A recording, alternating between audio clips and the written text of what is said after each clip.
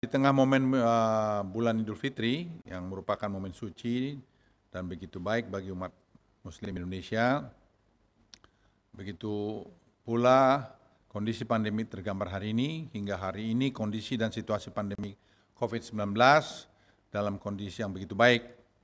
Dilihat secara nasional sudah 25 hari berturut-turut kasus harian kita berada di bawah 1000 hari, 1000 kasus dan uh, 500 kasus berturut-turut di bawah uh, 500 berturut-turut di bawah 25 hari.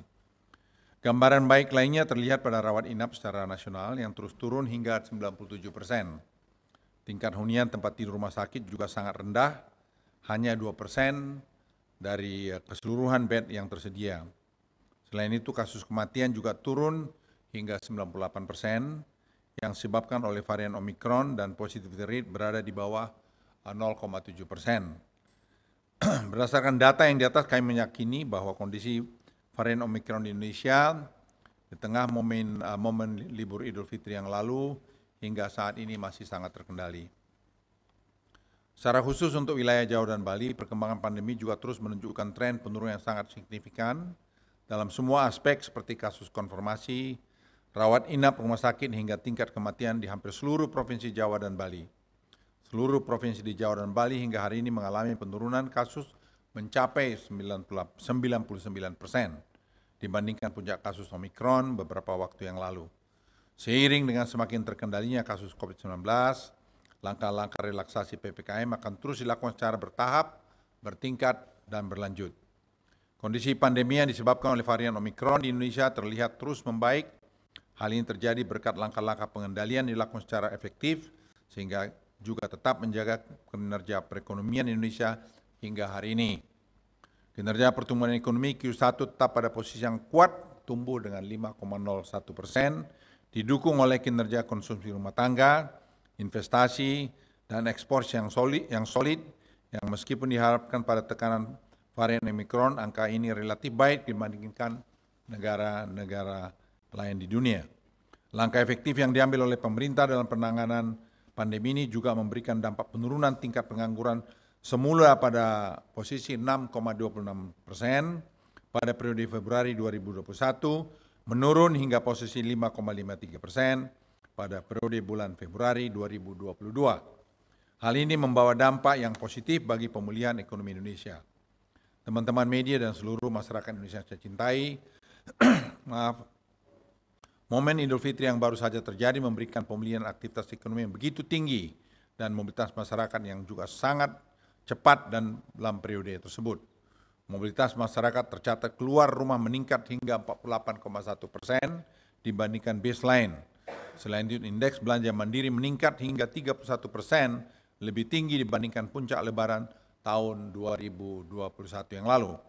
Meski tentu ini positif bagi kinerja perekonomian, Peningkatan mobilitas dan aktivitas ekonomi yang tinggi juga memiliki risiko berupa penyebaran kasus yang perlu diantisipasi oleh pemerintah. Untuk itu pemerintah akan memantau pergerakan kasus dalam satu dan dua minggu ke depan dengan memperkuat testing dan tracing.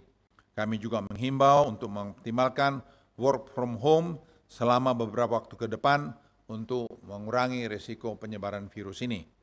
Teman-teman media dan masyarakat Indonesia, di tengah terus membaiknya kondisi pandemi COVID-19 di tanah air, relaksasi aturan PPKM akan terus dipermudah dan dilonggarkan, namun akan tetap terus mengikuti standar protokol kesehatan yang ditetapkan oleh pemerintah.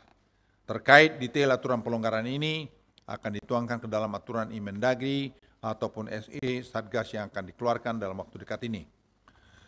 pemerintah juga menegaskan hingga hari ini masih akan terus memperlakukan PPKM Jawa Bali hingga waktu yang masih belum ditentukan dan juga mengikuti hasil evaluasi secara reguler yang dipimpin langsung oleh Bapak Presiden. Membaiknya kondisi pandemi tidak mematahkan semangat pemerintah untuk terus melakukan akselerasi vaksin dosis kedua dan juga booster untuk seluruh wilayah Jawa Bali yang masih tertinggal baik dosis vaksin kedua maupun boosternya.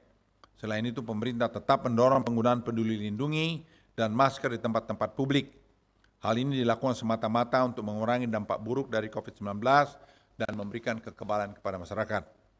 Pada kesempatan yang baik ini saya ingin menyampaikan bahwa berdasarkan level asesmen yang dilakukan oleh pemerintah hingga 7 Mei 2022, tidak ada kabupaten kota yang berada di level 4 lagi. Hanya sada Kabupaten Pamekasan, satu kabupaten yaitu Pamekasan yang berada pada level 3 akibat level vaksinasi yang belum memadai. Terkait detail keputusan ini akan dituangkan dalam Mendagri yang akan keluar dalam waktu dekat ini. Teman-teman media dan seluruh masyarakat yang saya cintai, keberhasilan penanganan COVID-19 hingga hari ini membuat kita percaya bahwa peran masyarakat merupakan kunci utama dari keluarnya kita semua akibat semua akibat badai pandemi ini. Sebagai langkah strategis akan diambil dan sudah diberlakukan tentunya akan menjunjung tinggi prinsip kehati-hatian Jangan sampai perbaikan yang sudah kita capai membuat kita terlena dan akhirnya akan menjadi sia-sia. Pemerintah akan terus menjaga momentum baik ini dan sepenuhnya belum puas dengan pencapaian di atas. Untuk itu pemerintah akan terus memutuskan menuntaskan pandemi ini dan pemerintah juga terus berharap agar keterlibatan peran dan ke, juga kesadaran masyarakat hari ini berperan penuh dalam terus menjaga protokol kesehatan, utamanya dalam melakukan penggunaan masker agar kita semua dapat segera keluar dari badai uh, pandemi ini.